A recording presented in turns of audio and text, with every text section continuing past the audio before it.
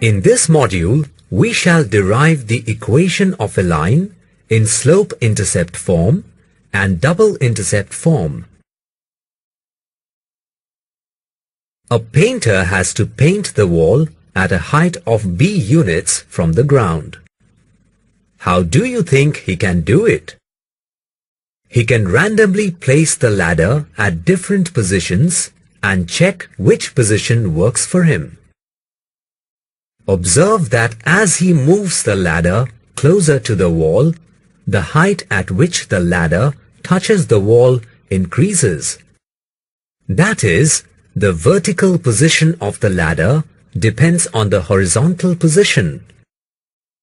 We can say that a rule or relation is obtained between the horizontal and vertical positions of the ladder. Assuming the ladder to be a line, this rule will be satisfied by all the points on the line, which is equation of the line. Now let us see how to find the equation of the line. The line intersects the y-axis at 0, b. Let the slope of the line be m. Consider an arbitrary point xy on the line.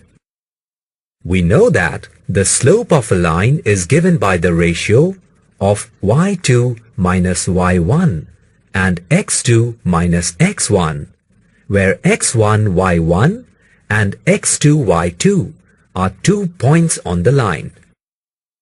Therefore, the slope of this line is equal to y minus b upon x minus 0. By regrouping the terms, we get y is equal to mx plus b.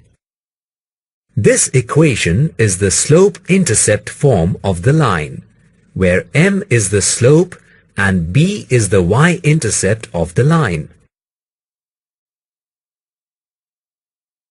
Now, suppose the height at which the ladder intersects the wall is unknown. However, it is given that the foot of the ladder is positioned at a distance of a units from the wall with slope m. Let xy be an arbitrary point on the line. As we have seen, the slope of a line is given by the ratio of y2 minus y1 and x2 minus x1, where x1 y1 and x2 y2 are two points on the line. So, by substituting and solving, we get y is equal to m multiplied by x minus a. This equation is the slope-intercept form of the line, when the x-intercept and the slope are known. Consider a line that intersects the y-axis at 0, comma b and the x-axis at a, comma 0. The slope of a line is given by the ratio of y2 minus y1 and x2 minus x1, where x1 y1 and x2 y2 are two points on the line. So, by substituting and solving, we get m is equal to minus b upon a. By using the slope-intercept form, we get y is equal to minus bx upon a plus b. Dividing the equation by b and regrouping, we get x upon a plus y upon b equal to 1. This equation is known as the double intercept form of a line. Let us summarize what we have learnt in this module.